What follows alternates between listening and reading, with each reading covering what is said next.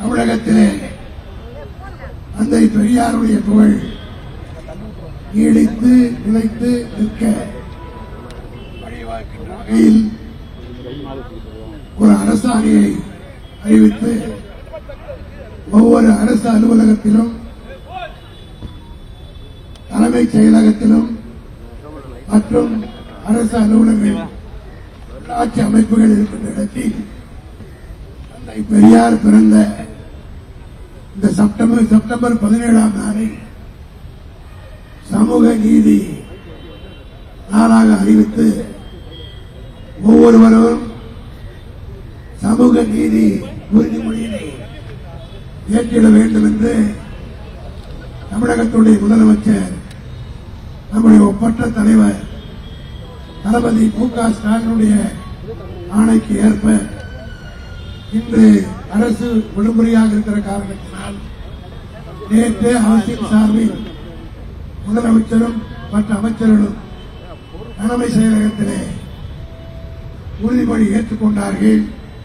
திராவிட முன்னேற்ற கழகத்தின் சார்பில் இன்றைக்கு அண்ணா அறிவாலயத்திலும் மாவட்ட தலைநகர்களிலும் மாவட்ட கழகத்தின் சார்பில் இந்த உறுதியேற்பு நாளை நடத்திட வேண்டும் என்று கழக தலைவருடைய ஆணைக்கு ஏற்ப இன்றைக்கு நாம் அனைவரும் இந்த உறுதிமொழியை ஏற்க இருக்கிறோம்.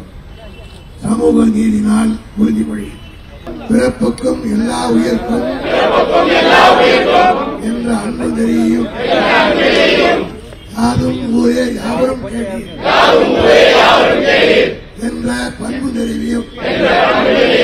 எனது வாழ்வியல் வழிமொழியாக கடைபிடிப்பேன். சுயமரியாதை ஆளுநரிடம் பகுத்தறிவு கூர்மையும் கூர்மையும் பார்வையும் கொண்ட என்னுடைய செயல்பாடுகள் அமையும். அமையும்.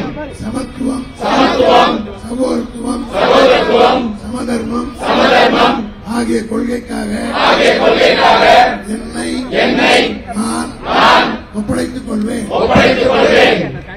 மாநில பற்றும் பற்றும் மனிதாபிமானமும் மனிதாபிமானமும் ஒன்றே ஒன்றே எனது எனது ரத்த ரத்த ஓட்டமாக அமையும். ஓட்டமாக அமையும். சமூக நீதியை சமூக நீதியை அடித்தளமாக கொண்ட அடித்தளமாக கொண்ட சமுதாயம் அமைக்கும். சமுதாயம் அமைக்கும். எனது பயணம் எனது பயணம் தொடர தொடர இந்த நாளில் இந்த நாளில் உறுதியேற்கிறேன். உறுதியேற்கிறேன்.